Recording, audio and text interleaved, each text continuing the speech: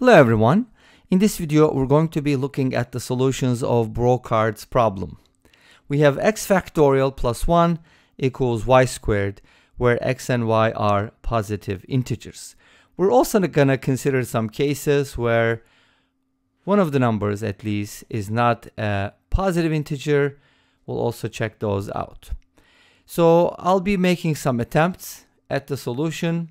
I just want to share with you what I tried and then we'll talk about some generalizations and you know so on and so forth.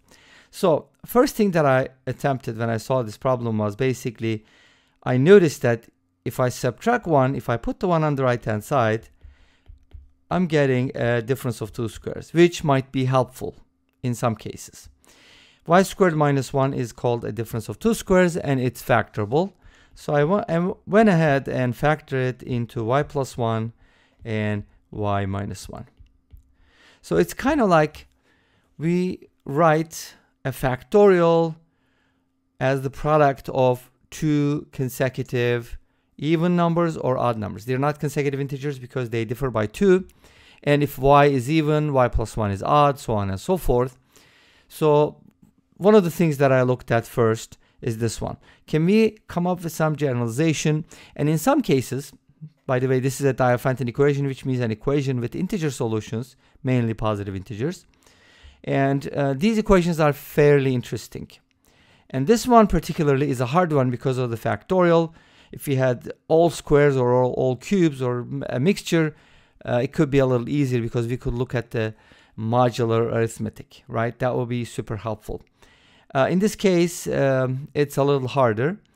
Uh, and these equations are pretty interesting and they have a lot of applications. And one of the things you can do is either show that if there are or whether there are infinitely many solutions, or you can also sometimes prove that there are no solutions besides the one you found. I mean, if there are any, there are no solutions at all, that would not be very interesting, even though we sometimes see those kinds of problems. Anyways, so this doesn't seem to help, so I'm going to give up on this and just kind of use some numerical values. One of the things you can do is if you can't solve a problem, try to guess some solutions, try to look at a pattern, see if you can get something from that. And you never know when a solution is going to emerge. So I'm going to give you a little bit of history on this problem because it's a very famous problem, a well-known problem. Anyways, so let's go ahead and start by plugging in some values. What also makes this problem difficult uh, on top of everything is basically we have two different variables and a single equation, which is again a common characteristic of Diophantine equations. So if x is 0, for example, I'm going to go ahead and put the 1 back because now I want to do, what I want to do is basically try to get perfect squares by adding 1 to any factorial. For example, if x is 0, I'll be getting 1 plus 1, which is 2, but that's not the perfect square. What about 1? Same thing, right? It's not going to work. So I'll just put an x, which means it doesn't work. If you try 2, 2 factorial plus 1 is going to be 2 plus 1, which is 3. That's not a perfect square. Too bad. We don't have luck. 3 factorial plus 1 is 6 plus 1, which is 7. Uh-oh, that's not going to work either. So you might be thinking, maybe there are no solutions to this equation because we didn't get anything so far. But don't give up. Don't lose courage. What happens if x is equal to 4? 4 factorial is 24. 24 plus 1 is 25. And yes, we have a solution because 25 is a perfect square. And that's just perfect, isn't it? So from here, we basically get y equals 5. And of course, x equals 4 because that's what we started with. So 4 comma 5 is a solution in other words. So at least we have one solution, which is good, right? The solution set is not empty set. Let's continue, hoping that we'll catch more solutions or more fish. 5 factorial plus 1. Uh-oh, 5 factorial is 120, plus 1 is 121. That also happens to be a perfect square. Nice. So from here we get y equals 11, and then x equals 5. That means 5 comma 11 is another solution. Wow, this was easy, right? Not really. Because when you hit 6, you're going to realize we don't have any solutions because 721, as far as I know, is not the square of an integer. Okay, so no solutions here. We kind of got stuck. We got the 4 and the 5 for x. What about the next one? Again, never give up, continue to work. 7 factorial plus 1 is 5041 and that just happens to be 71 squared. Isn't that just amazing? Sometimes, I mean, life is full of surprises, but math is full of just amazing surprises. Anyways, y equals 71 is another solution.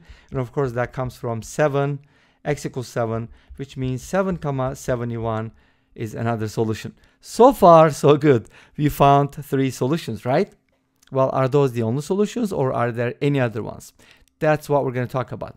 But I also tried another thing, let me share with you, and then I'll kind of get into a little bit of history. Not too much, don't be scared. Just uh, I'll mention a couple things. So, first of all, I want you to notice that y is odd. And if you look at all these y values, you're going to realize, okay, all these y values are odd. I mean, I'm not just saying based on those. y is odd because x factorial is even if x is greater than or equal to 2. And in this case, x equals 0 or 1 or 2 did not work. So I can safely say that x must be greater than or equal to. I can even say that x is greater than 2, but that doesn't really matter. So x factorial is even. If you add 1 to it, you're going to get an odd number. y squared is odd, which means y is an odd number. So if you find more solutions, it has to be an odd number.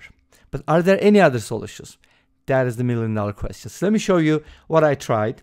So after figuring out y is odd, that's a kind of like a nice discovery on my part.